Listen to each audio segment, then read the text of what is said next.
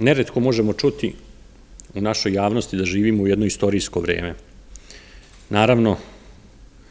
taj termin je tekako opravdan, jer smo svedoci toga da se na globalnom, u globalnoj geopolitičkoj areni dešavaju ozbiljni potresi. Ti potresi su posledica značajnog previranja koje se dešava u međunarodnim odnosima, ono je opet posledica toga što se dešava taj istorijski proces. Sada je to potpuno jasno urušavanja jednog svetskog poredka koji je decenijama unazad funkcionisao tog unipolarnog, u kom su dominirale Sjedinjene američke države i gradi se jedan novi poredak. Ne znamo u ovom trenutku kako će on izgledati u potpunosti, imamo tek neke obrise, ali ono što znamo da smo u prošlosti imali mnogo puta takav primer, ali mnogo puta, nekoliko puta sigurno takav primer, kada se jedan poredak ruši, kada se drugi uzdiže, to ne može proći bez ozbiljnih potresa i obično se to dešavalo u krvavim obračunima na globalnom, na međunarodnom nivou. Cela ta atmosfera treba da nas plaši, i tekako. Strah od nekog rata širih razmera je nešto što posebno ugrožava nas na ovim prostorima, na trusnom balkanskom poluostrovu, jer smo bili svedoci toga u prošlosti da kada su se dešavali takvi potresi, kada smo imali velike globalne sukobe, oni kao po pravilu nisu zaobišli ovaj prostor na kojem i mi danas živimo. Na kraju krajeva imamo i dobar primer prvog i drugog svetskog rata koji su zaista bili negde prelomni u urušavanju jednog multipolarnog sveta koji je do tada postojao više od stotinu godina i gradnji jednog drugog bipolarnog sveta koji je nakon drugog svetskog rata uspostavljen. Naravno da to nije prošlo bez refleksije na Balkan i znamo kakve su posledice bile i po naš narod i u prvom i drugom svetskom ratu i generalno po ceo region. Tako nešto bi svakako valjalo izbeći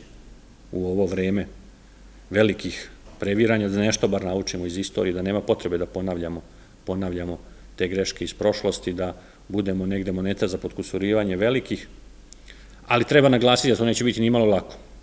I danas na Balkanu mi imamo potencijalna žarišta koja mogu veoma lako da eskaliraju.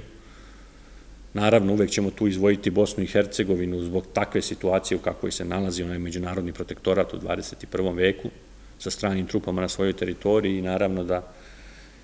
e, je pitanje suverenosti u donošenju odluka kada govorimo o Bosni i Hercegovini veoma ograničeno, a samim tim kada znamo da spoljni faktor tu ima dominantnu ulogu, onda i moramo biti s jedne strane zabrinuti, a kada uzmemo u obzir da se opet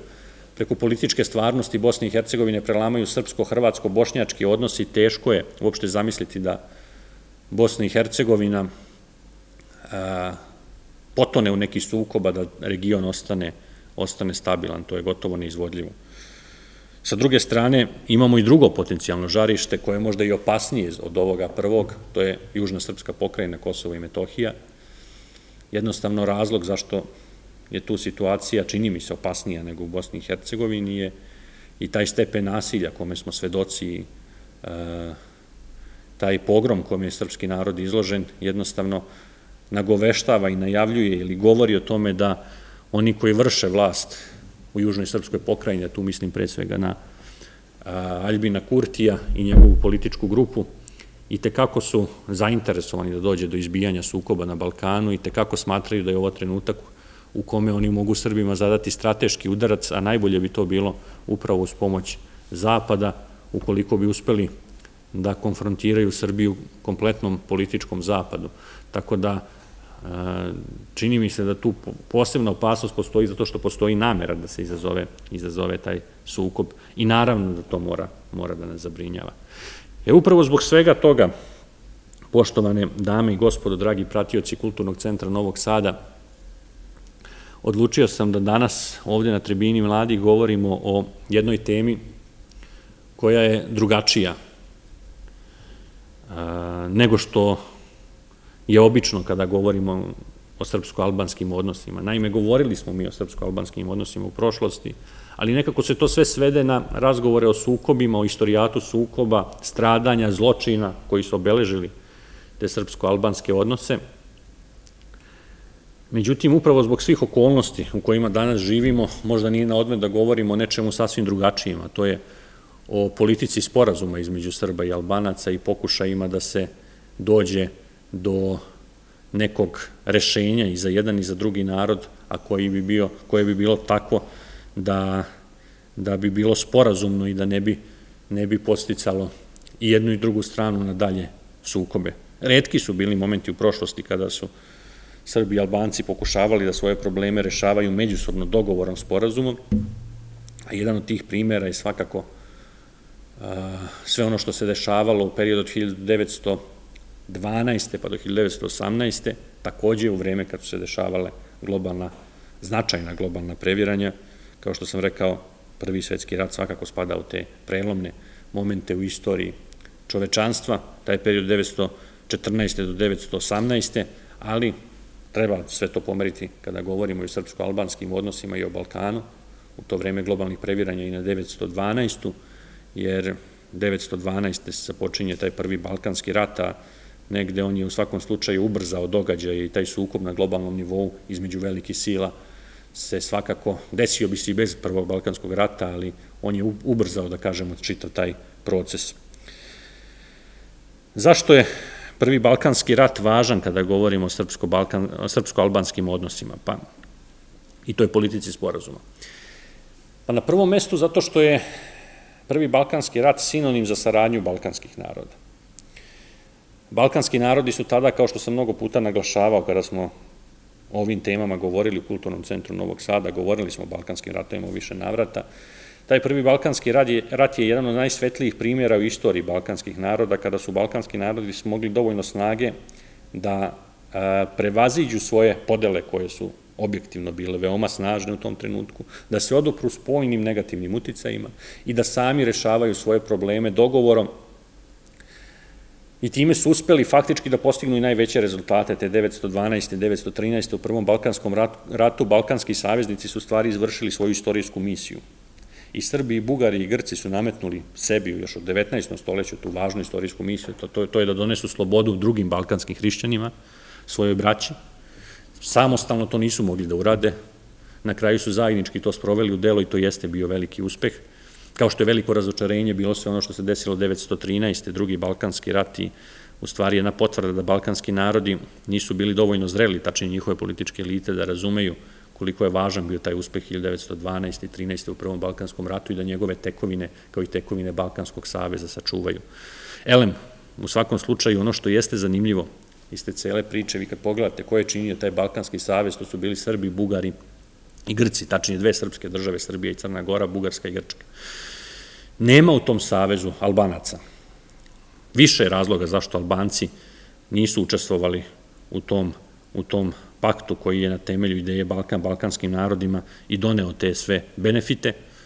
Na prvom mestu je to što nisu imali svoju nezavisnu državu. Naravno, vi kada uzmete u obzir Balkanski savez je savez nezavisnih država. Albanci u tom trenutku ne da nemaju svoju nezavisnu državu, nego nemaju ni autonomnu državu u okviru Osmanlijskog carstva. Oni žive u većem ili manjem procentu u četiri vilajeta. To je Janjinski, današnja Južna Albanija i deo Severne Grčke, Skadarski vilajet, to je današnji najveći deo Severne Albanije, taj drugi deo Albanije, ali i u Manastirskom ili Bitoljskom vilajetu, to je taj zapadni deo Severne Makedonije, kao i u Kosovskom vilajetu koji tada podrazumevao ne samo Kosovo i Metohiju, već i Severnu Makedoniju sa Skopljem i Kumanovom i Novopazarski sanđak sa Novim pazarom i sa tim krajem koji mi danas nazivamo Iraška oblast. U svakom slučaju, ta je teritorija na kojoj su Albanci živeli, ali kao što sam rekao, nisu imali čak ni autonomiju do duše 912. nakon ustanka koji se desio na Kosovu i Metohiji,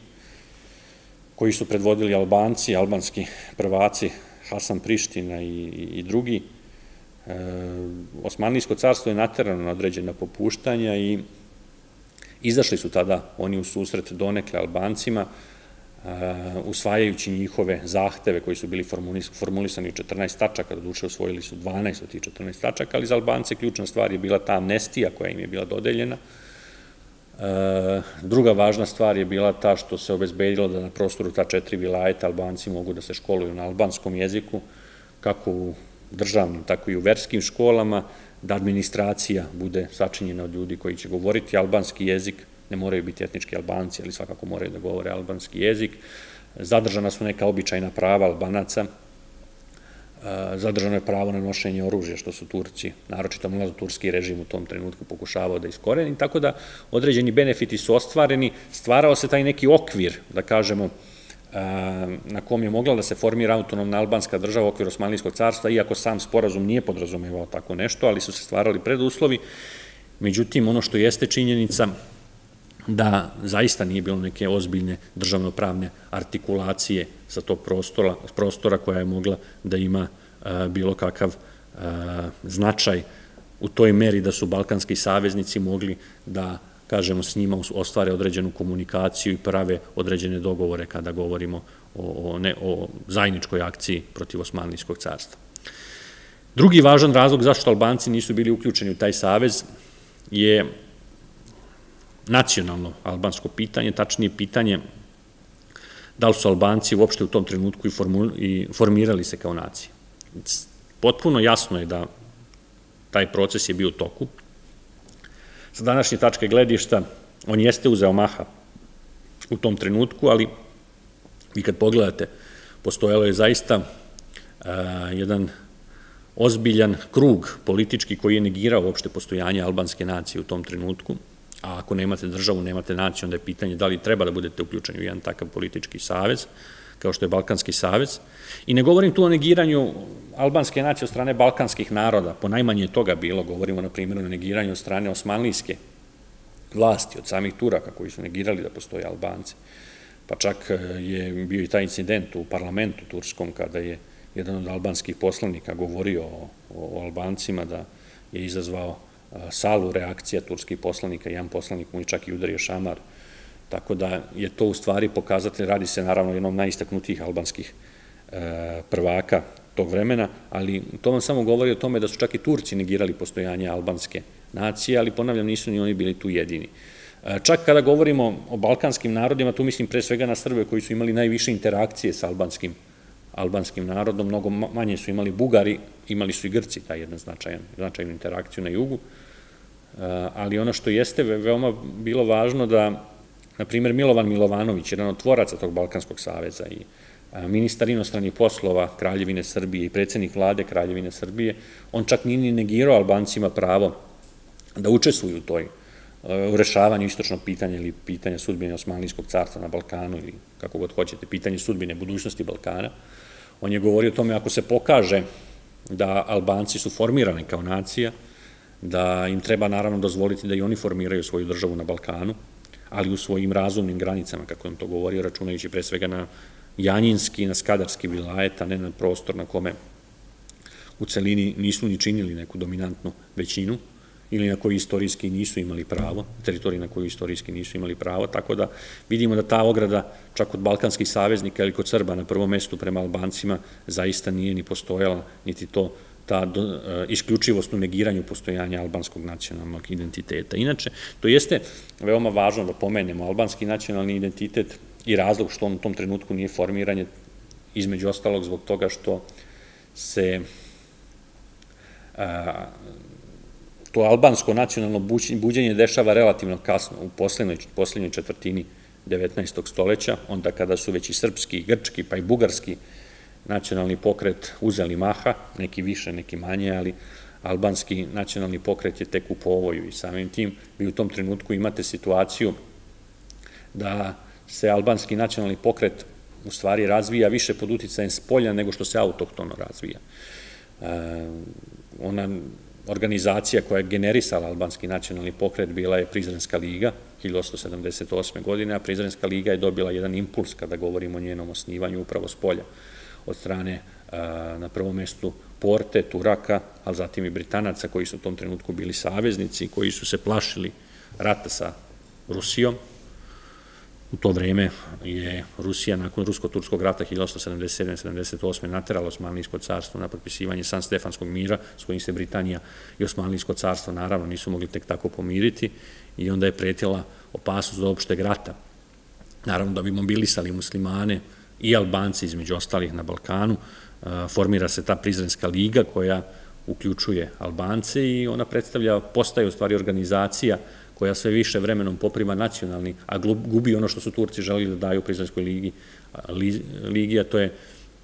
pre svega verski karakter verski, islamski karakter, jer Osmanlijsko carstvo je naravno bila više nacionalna država, a kohezivni faktor je bio islam, tako da njima nikako nije odgovaralo bilo kakvo nacionalno buđenje, pa ni albansko nacionalno buđenje, koliko god im do tada Albanci bili, bili lojalni. U svakom slučaju, na taj način su i spoljni faktori, Turci na prvom mestu su dali Albancima faktički organizaciju, vojno ustrojstvo kroz tu prizrensku ligu, i e,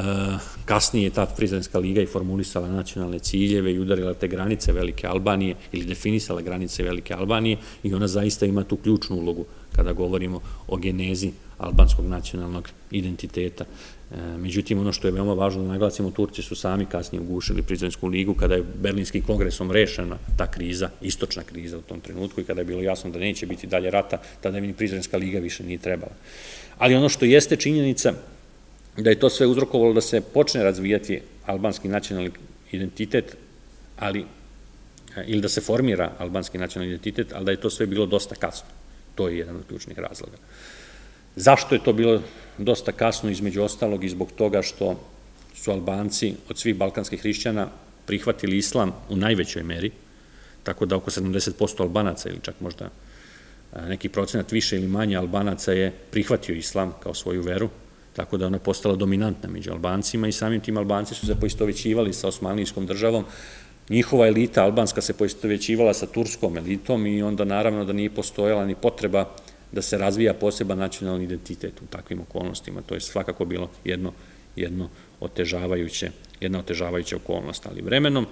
Naravno, od osnivanja Prizrenske lige stvorila se ta geneza, kasnije su i druge velike sile koje su računale na Albance podsticale taj njihov dalji dalji nacionalni razvoj. Tu na prvom mestu mislim Austro-Ugarsku, koja je u svojoj politici prodora na Balkan, pre svega prema Egejskom moru, računala Albance kao desni bok svoje ekspanzije prema Solunu, tako da su i tekako i podržavali, pisali su i albansku istoriju, radili na kodifikaciji jezika, jer vi morate naravno uzeti u obzir uvek kada govorimo o Albancima u 19. veku da su tu velike razlike među njima i plemenske i, i, ne samo plemenske, velike su razlike i jezičke barijere između Toski na jugu i Njega na severu, postoje i te religijske razlike, ali su one, ponavljam, najmanje, pošto su većina Albanaca u stvari muslimani. U svakom slučaju, i to sve kada uzmemo u obzir, dolazimo i do trećeg segmenta koji je veoma važan, zašto Albanci nisu bili uključeni u tu borbu za nacionalno oslobođenje Balkana te 1912. godine, a to je što su sami Albanci u stvari pre bili spremni da brane to Osmanlijsko carstvo, nego da učestvuju u njegovoj razgradnji. Zašto to kažem? Pa zato što, e, ponavljam, oni su se, kao što sam rekao, poistovećivali sa Osmanlijskom državom, bili su muslimani, čvrsto su bili vezani za sultana, oni su želeli neku vrstu svoje autonomije, pa čak i obličavanja svoje državnosti, ali pod pokroviteljstvom sultana, bar u prvoj fazi ili u prvom, u prvom segmentu pod pokroviteljstvom i zaštitom sultana. Drugi važan faktor je bio i to što su oni tekako računali na podršku upravo Austro-Ugarske kao jedne velike sile koja je računala na njih kao svoje saveznike na Balkanu, a i Austro-Ugarska nije bila naklonjena balkanskim saveznicima, videvši u njima prepreku za ostvarenje svojih ciljeva, jer njima nikako nije odgovarala politika Balkan balkanskim narodima, baš upravo zbog njihove ekspanzije prema jugu, prema Egejskom moru, ili zbog toga što su bili jednostavno prethodnica, što takođe ne treba zanemariti. E, pored te njihove ekspanzije prema jugu, koja je bila autoktona politika Beča, negde Beč je kroz svoje savezništvo sa Berlinom, predstavljao i prethodnicu berlinske politike e, prodora na istok,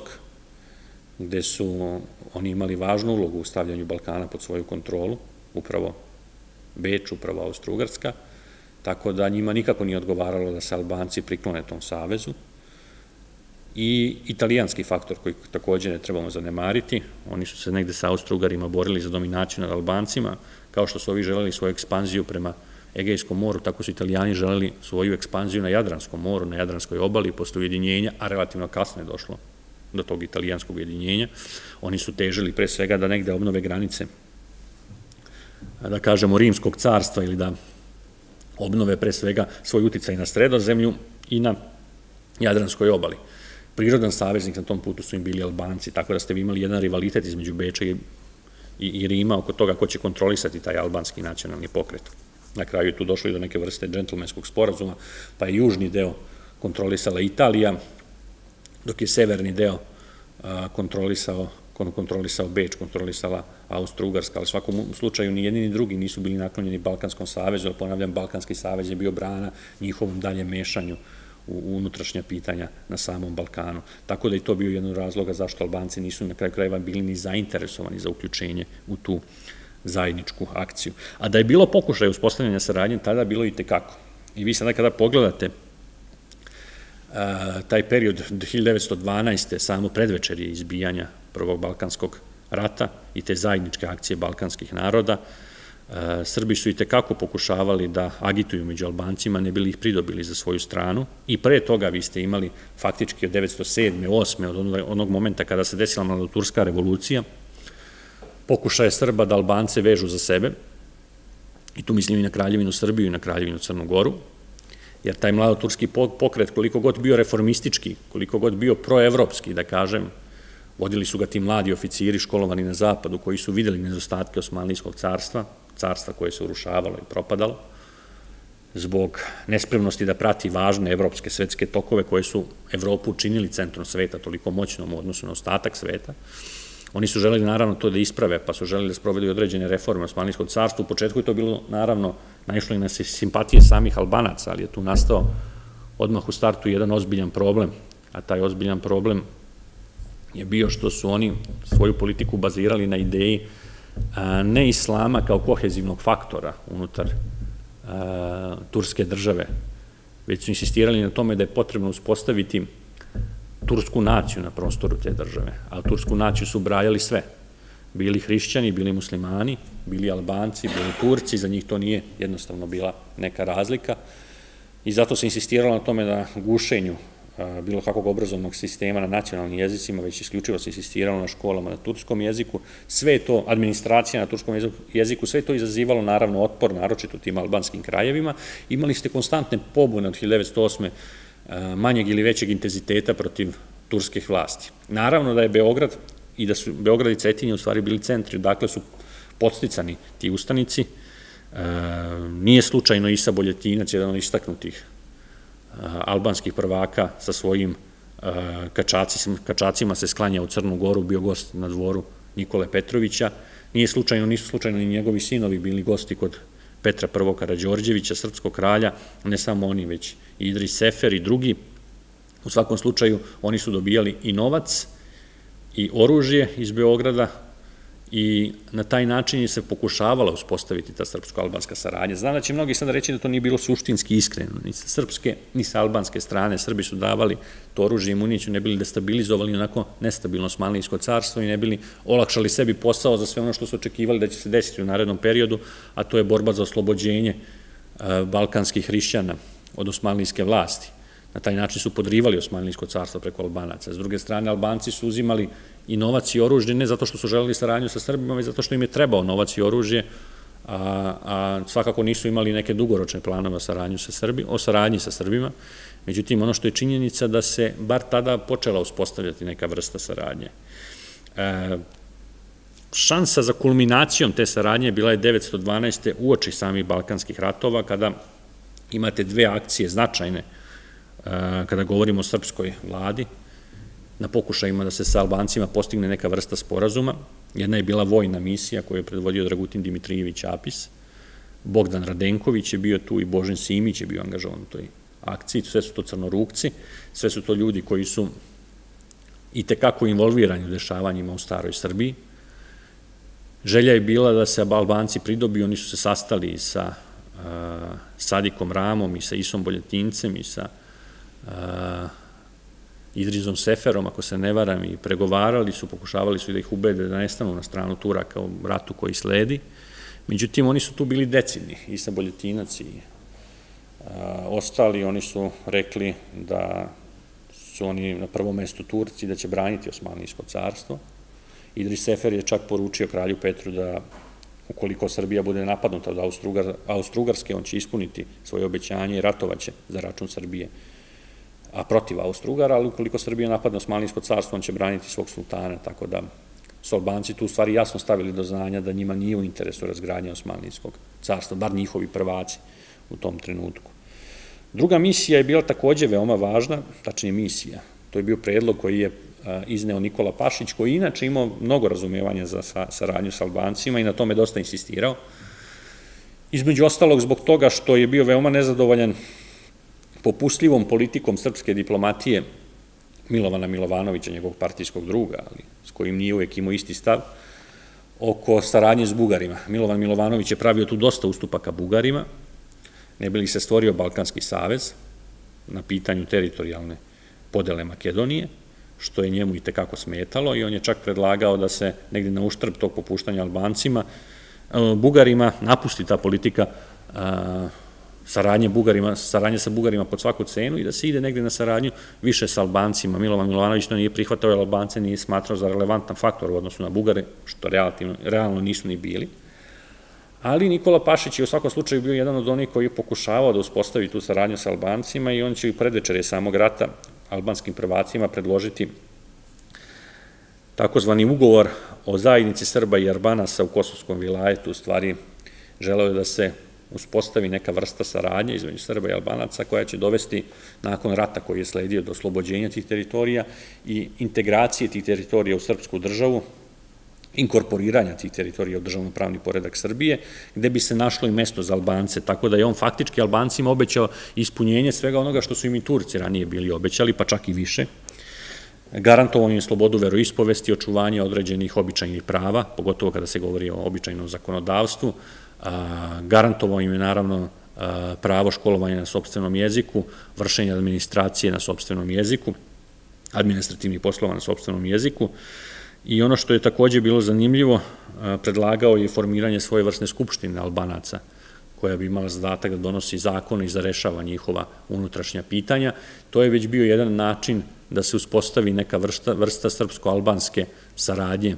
u okviru zajedničke države. Albanci su sve to na saboru ili na skupu, sastanku, kako god hoćete, u Skoplju, odbacili oktobra meseca i to jednoglasno.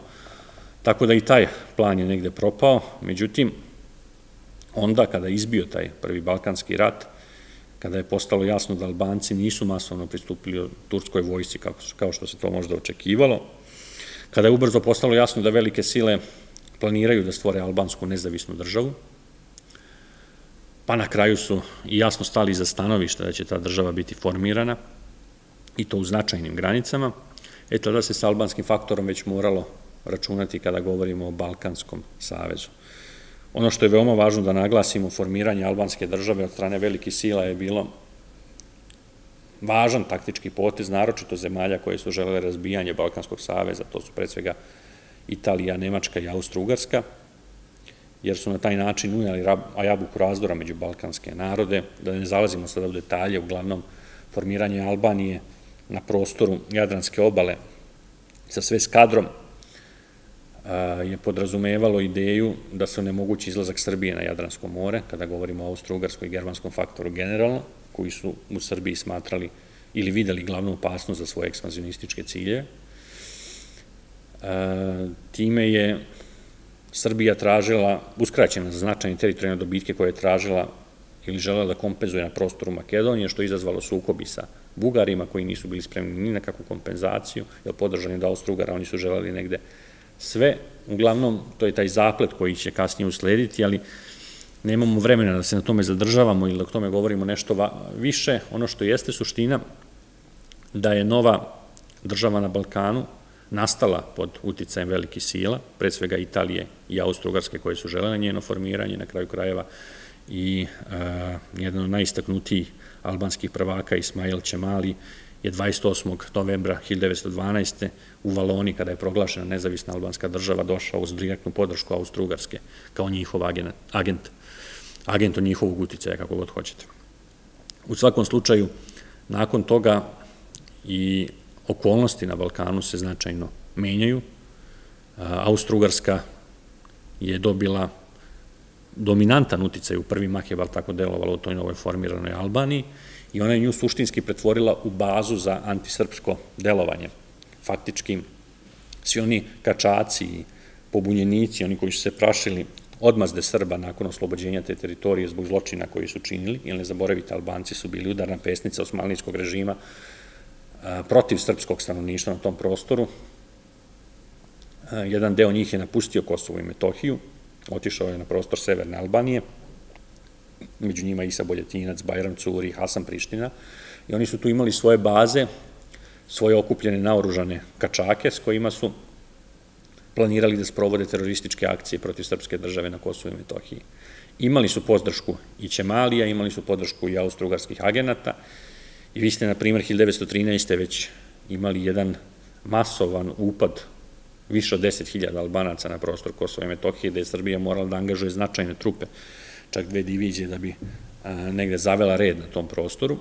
Nakon toga su Albanci ubrzo i proterani, ti kačaci koji su upali na tu teritoriju s Kosova i Metohije. Prešla je srpska vojska opet granice Albanije izbila na Rim, međutim pod pritiskom Austro-Ugarske i pretnjom da će Austro-Ugarska ući u rat, srpska vojska se povukla, znajući da Austro-Ugarska želi taj obračun i taj rat, međutim to je bio pokazatelj koliko je sada Albanija postala nezgodan sused za komšija za Srbiju, teritorije s koje će se sprovoditi, kao što sam rekao, antisrpske akcije ili akcije protiv srpske države. Međutim, nije ni Srbija tu sedela skrštenih ruku, tražila je svoje saveznike među Albancima i našla je te saveznike, tačnije našla je ključnog saveznika, rekao bih u tom trenutku, a to je bio Esad Paša Toptani. Zašto je Esad Paša Toptani ključni saveznik? Zato što je pod broj 1 bio pobornik ideje Balkan balkanskim narodima. On je i tekako zamerao drugim albanskim prvacima što su učestvovali u toj akciji protiv Srbije, jer je bio svestan nove realnosti da je Albanija, da su Albanija i Srbija susedne države i da nije u interesu Albanaca da budu sredstvo velikih sila za obračunavanje sa Srbima, germanskog faktora, tako da je bio protiv te akcije. S druge strane, bio je pobornik saradnje sa Srbijom, zbog čega je uspostavio veze sa, sa Nikolom Pašićem. Inače se radilo o čoveku koji je bio veoma uticajan, što treba naglasiti. Uticajna je bila porodica Toptani iz centralne Albanije, gde su imali značajne posede, što je negde bilo veoma važno kada govorimo o ekonomskoj moći te porodice. Međutim, pored tih poseda koje je porodica Toptani imala na prostoru centralne Albanije, ne treba zanemariti ni tu činjenicu da je porodica Toptani bila veoma ugledna i da su izdanci te porodice i vršili vlast u, ili vršili važne državne funkcije u Osmanlijskoj, u Osmanlijskoj carevini. Pa ste tako, na primjer, Esad Paša Toptanija imali kao nekoga koji je bio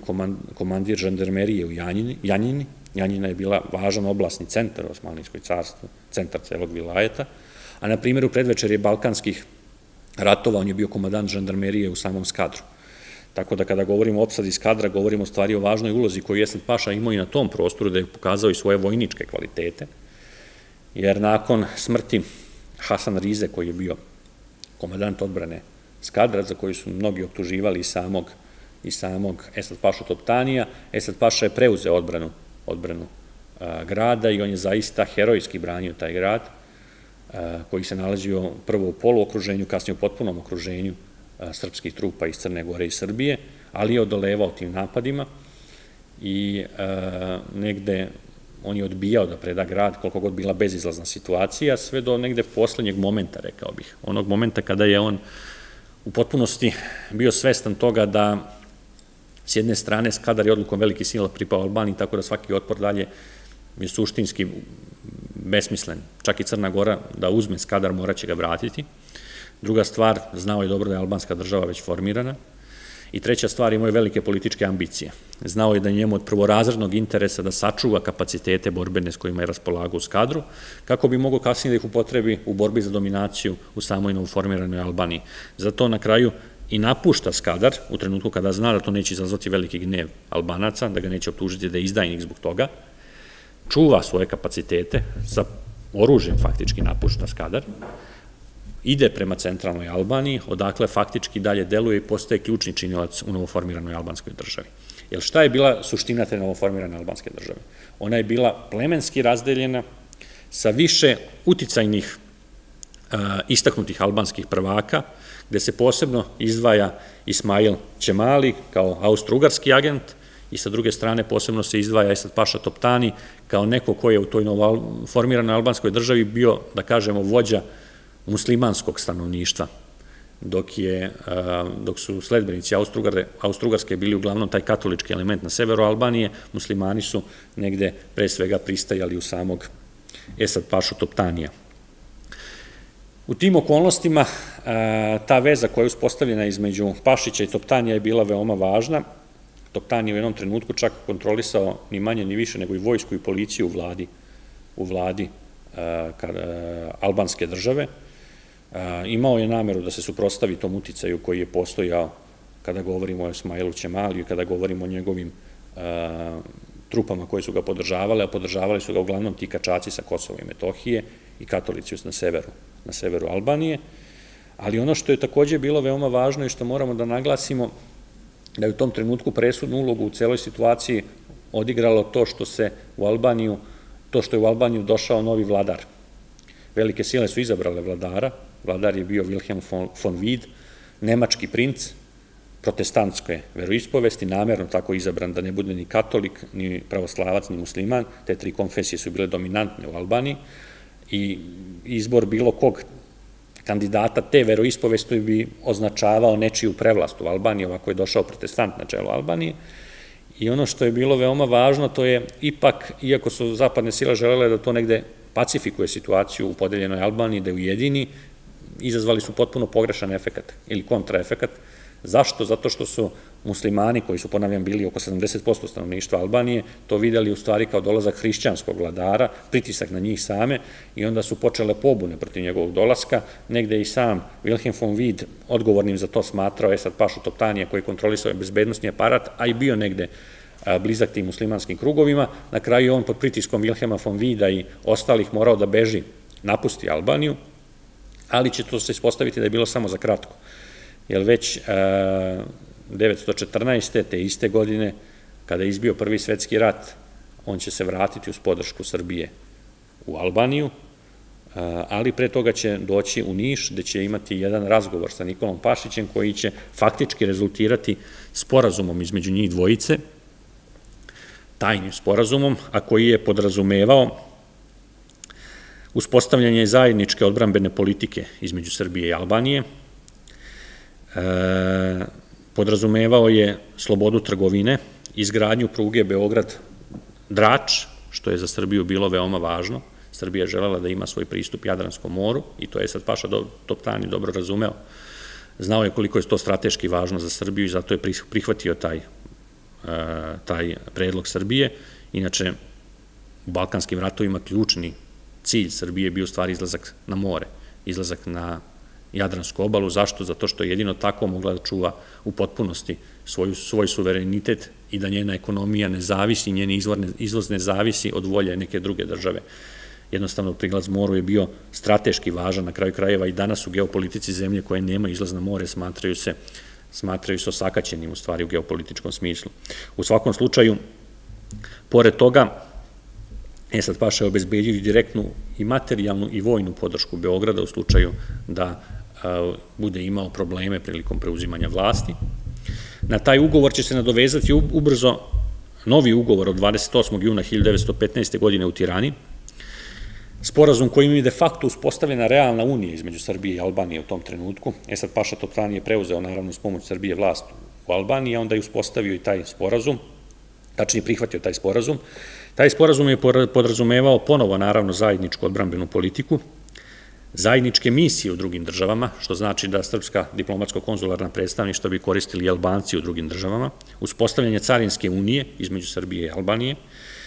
zajedničke centralne banke, znači uspostavljanje negde zajedničkog i monetarnog sistema između Srbije i Albanije, i Esad Paša bi postao nasledni albanski knez. De facto na taj način je uspostavljena ta realna unija između Srbije i Albanije i de facto na taj način je u stvari Esad Paša pokazao negde put i strategiju kako on vidi rešavanje srpsko-albanskog spora na Balkanu.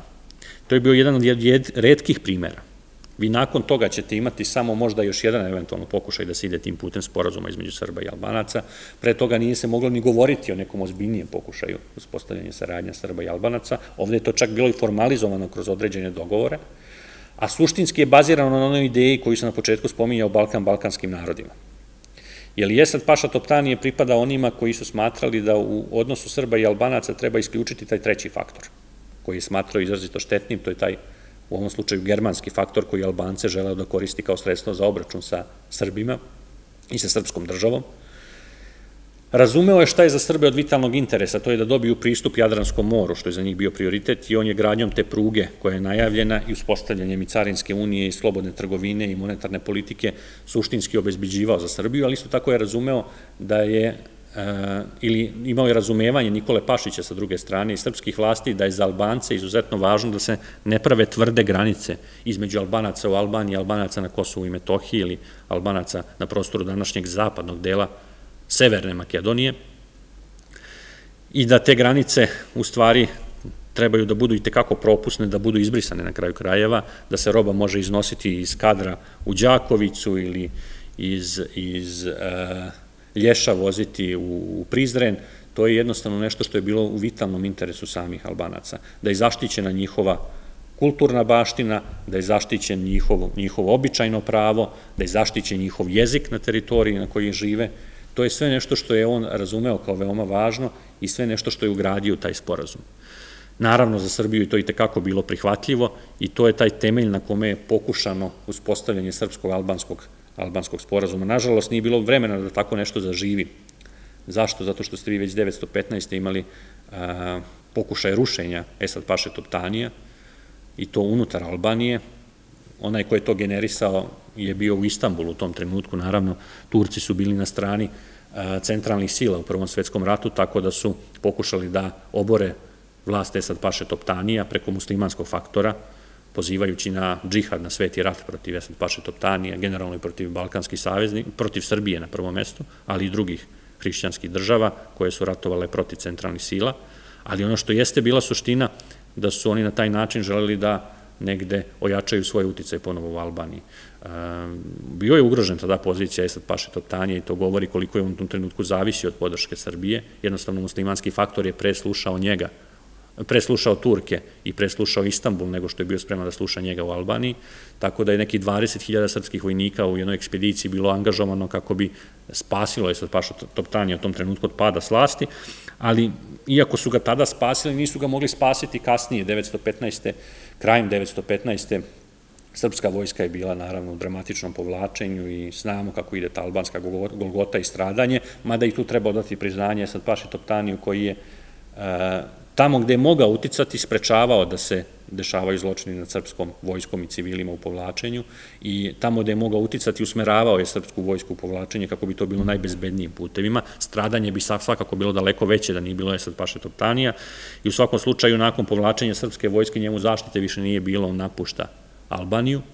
ali je i dalje do kraja života ostao vezan negde za, za Beograd. E, nakon oslobođenja i 918. i nakon pobede u tom prvom svetskom ratu na Parijskoj mirovnoj konferenciji Nikola Pašić je pokušao da nametne sad Pašu Toptanija kao zvaničnog predstavnika Albanije, čemu su italijani ošto protivili, oni su smatrali da je njihov uticaj tu sada u Albaniji dominantan, oni su predstavljali Turhan Pašu, jednog starog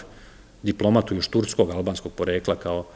predstavnik Albanije. U suštini mirovna konferencija u Parizu je jednog i drugog negde ostavila po strani, sama rešavala to albansko pitanje i pitanje kasnije albanskih granica, ali Esad Paša je doživeo tu, eto, tragičnu sudbinu na kraju 1920. u Parizu ubijen od svog sunarodnika, Albanca, Rustemi, ako se ne varam. Sahranjen je na vojničkom groblju, srpskom vojničkom groblju i danas se smatra nekom, nekim ko je bio izdajnik albanskih nacionalnih interesa u najvećem delu albanske javnosti. Ironija je u tome što ga za izdajnika danas proglašavaju oni koji su za razliku od njega, koga su krivili da je bio, ili optuživali da je bio agent srpskog uticaja, da su oni danas svakako agenti, da li američkog, da li nemačkog, da li britanskog, turskog, ali svakako ne albanskog uticaja. Oni su ti koji i dalje nastavljaju politiku koju je sprovodio Ismail Kemali ili Ćemali, kako god hoćete, i ta struja koja je pokušavala s pomoć velikih sila da ostvari svoje interese ili veliko albanske interese na ovom prostoru. E sad, Paša Toptani definitivno nije bio to. On je bio od onih koji su tu ideju Balkan, balkanskim narodima baštinili, čak onda kada su i balkanski narodi odbacili, u velikoj meri. i od onih koji su smatrali da se problemi na ovom prostoru mogu rešavati samo dogovorom naroda koji žive na ovom prostoru. Bio je spreman na velike iskorake u tom pravcu, platio je zbog toga cenu, ali ako sagledate, sagledate to što je on želeo da postigne, onda ćete shvatiti vrednost njegovog dela, vrednost njegovog dela i danas. Upravo sam zato i na početku govorio o izazovima s kojima se danas suočavamo, kada govorimo o srpsko-albanskim odnosima, koji se prelamaju preko pitanja Kosova i Metohije. Možda upravo zbog ove zategnute situacije na globalnom nivou i zategnute situacije, blago rečeno između Srba i Albanaca na Kosovo i Metohiji, treba više govoriti o ovim temama, temama kada smo imali tu šansu da uspostavimo saradnju, kada smo radili na toj saradnji i kada smo postizali sporazume, da naučimo nešto što smo možda propustili i da imamo sebi neki primer za delovanje u buduće, jer čini mi se da u ovo vreme globalnih previranja ti sporazumi i dogovori će nam biti preko potrebni. Jer ako ne budemo bili spremni na dogovaranje, ako ne budemo bili spremni na te iskorake da sami rešavamo svoje pitanja, onda ćemo ih rešavati onako kako smo ih tradicionalno rešavali. Ratovima, sukobima, to na kraju krajeva je začarani krug iz koga nećemo nikad izaći. Nadam se da u ovo, ponavljam, opasno vreme izazova nećemo biti ti koji će krenuti ratnim putem i da ćemo izbeći te zamke i da ćemo negde poučeni iskustvom iz prošlosti, na kraju krajeva i delovanja Nikole Pašića, Jesad Paše Toptanija, pokušati da nađemo rešenje za mirnu koegzistenciju i srpskog i albanskog naroda, koji opet jesu dva najbrojnija naroda u ovom delu Evrope, koji se danas kolokvijalno najčešće naziva Zapadni, Zapadni Balkan. Ja vam se zahvaljujem sada na pažnji i pozivam vas da i dalje naravno pratite YouTube kanal Kulturnog centra Novog Sada. Hvala.